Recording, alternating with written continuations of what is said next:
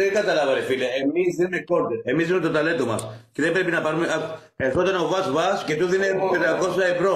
Λέει, α, ερχόταν από Τώρα τη- τα δικά μας τα λεφτά. Το ξέρω, ερχόταν από τη Λάρισα, άκου τι έλεγε. Ε, Ερχόταν από τη Λάρισα και του δίνει 500-600 ευρώ χαγιάτε και εμάς μας έδινε μόνο 20 ευρώ.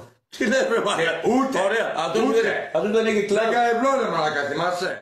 Εχθές, εχθές άκουγα το, Χα- το Μιχάλη, το Χαγιάτε και έλεγε εγώ τους έκανα στάρ, εγώ τους έκανα. Τους... Αγαμίς τώρα τις μαλακές που Εσύ, άκου Μιχάλη, Μαλάκας. εσύ, εσύ μας έχεις βάλει σε ένα, σε ένα υπολογιστή και εμείς εξεδιπλώσαμε το ταλέντο μας και κάναμε αυτό που θέλαμε και, και, και μας είδε ο κόσμος.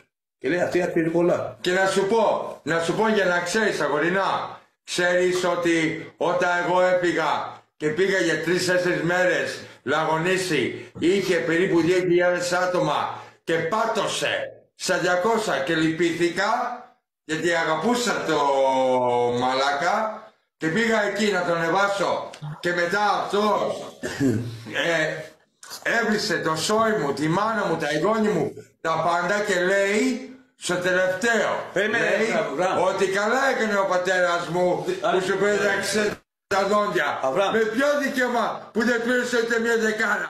Ναι, ε, είπε στα μούτρα μου ρε. Ε, ε, ε, είπε πολλά πράγματα που δεν ήταν σωστά σε μένα.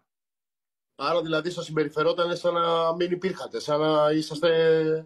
Ναι, σαν να ήμασταν σκουπίδια. Πήγα εγώ να τον ανεβάσω και άρχισε να με βρίζει.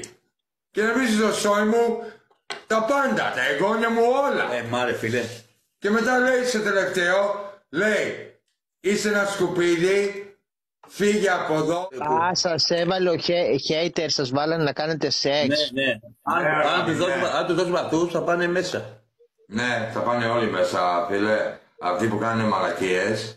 Όλοι. Σιγά σιγά.